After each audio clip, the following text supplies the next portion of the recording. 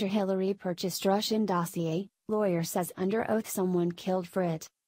Shocking classified testimony has just been released to the public, and it's causing panic across the Democratic Party. Most people know it was the Hillary Clinton campaign who paid a firm called Fusion GPS to do opposition research on then candidate Donald Trump. Specifically, Fusion GPS compiled what turned out to be a completely fabricated report, known as the Russian dossier.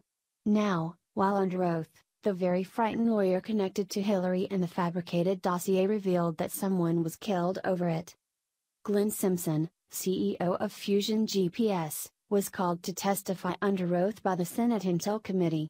The whole thing was classified, but now, some of the testimony has been revealed by Senator Dianne Feinstein.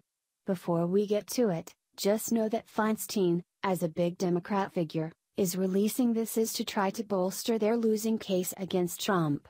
This whole thing was redacted, but some of it is stunning, especially a part about someone being killed.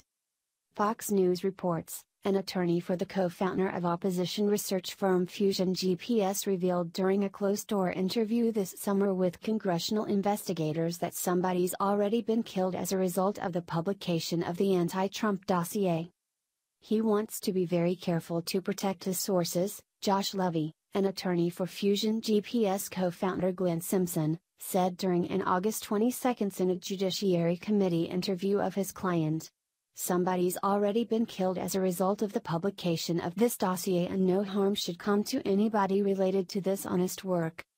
While that's shocking, let's clear up on thing, no, it's not honest work. As Mad World News previously reported, the entire Russian dossier was fabricated for one purpose, namely, to set up Trump in an FBI slash D.O.J. sting operation before he was president, and it carried on after he became president.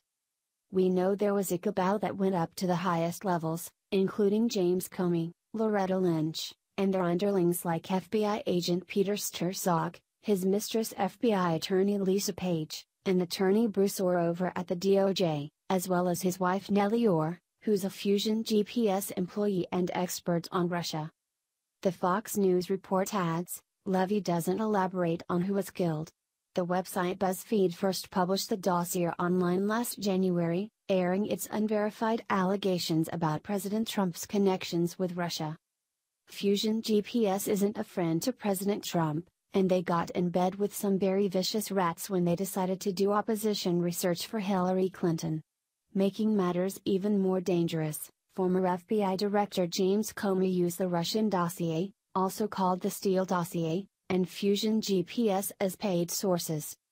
CNN reported in April of 2017, the FBI last year used a dossier of allegations of Russian ties to Donald Trump's campaign as part of the justification to win approval to secretly monitor a Trump associate, according to U.S. officials briefed on the investigation. But, the FBI did more than that.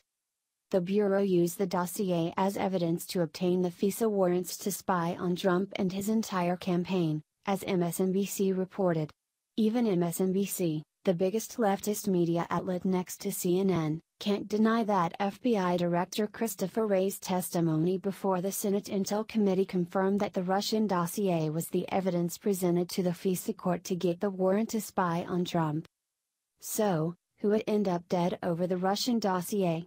anyone who was willing to screw Hillary Clinton, the FBI, and DOJ heavyweights, and who had the evidence that Barack Obama was also an insider in this deep state cabal, that's who? There's no doubt it was someone who knew too much and got scared that this entire deep state conspiracy would come out. People have gotten murdered for a lot less, as we all know.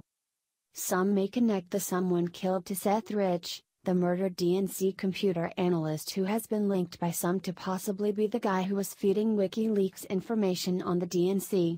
But, would Rich have known about the Russian dossier?